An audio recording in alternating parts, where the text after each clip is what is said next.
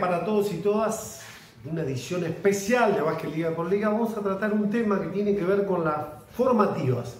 Una provincia muy rica en el desarrollo de jugadores y todo el mundo está preocupado por lo que vendrá. Sé que es un momento difícil, que las instituciones lo que están viviendo, los jugadores profesionales lo están pasando exactamente lo mismo, pero es un tema delicado porque antes de toda esta pandemia teníamos una deserción normal, más que nada en los clubes de barrio, y chicos teníamos algún inconveniente en la formación.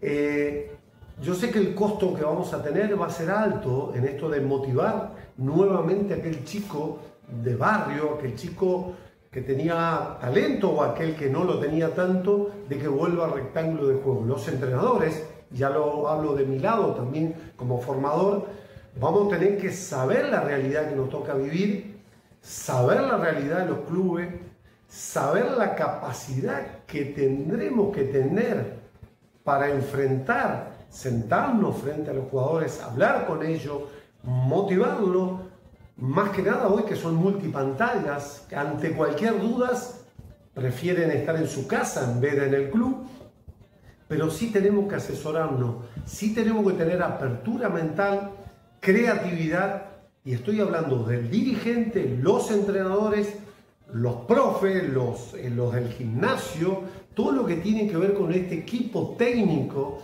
para que sigamos nutriendo nuestra provincia de Entre Ríos, Santa Fe lo mismo, eh, esta formación que costó tanto para el básquet argentino. Ya teníamos la crisis, ahora se va a acentuar un poco más.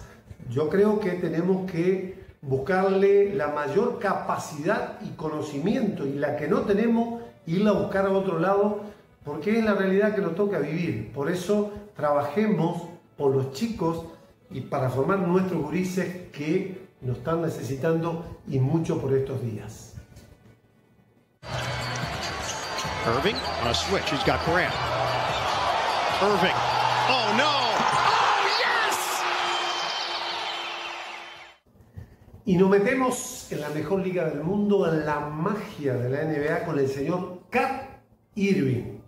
Por estos días, con algunos conflictos dentro de, la misma organización, jugadores, el problema de racismo que tiene Estados Unidos, pero bueno, eh, hay que tomar una decisión. Hay jugadores que piensan que no hay que finalizar este torneo que se hace en Disney ya con fecha, con organización, pero bueno, habrá que ver qué decisión toma la mayoría de los jugadores. Lebron está a favor de terminar, marca una diferencia con la asociación de jugadores, por decirlo en la Argentina, pero habrá que ver cómo continúa esto porque hay un signo de pregunta en la finalización de la NBA. Pero este jugador, recorremos, campeón de la NBA con Cleveland, un jugador que tiene en su carrera más de 20 puntos eh, de promedio, fue MVP en un torneo de triples, con un gol en la mano, un jugador que tiene magia como para disfrutarlo de esta manera. Whips it down the floor and Kyrie Irving on a touchdown from Torian Prince. Irving is 9 of 9, a steal. Irving at the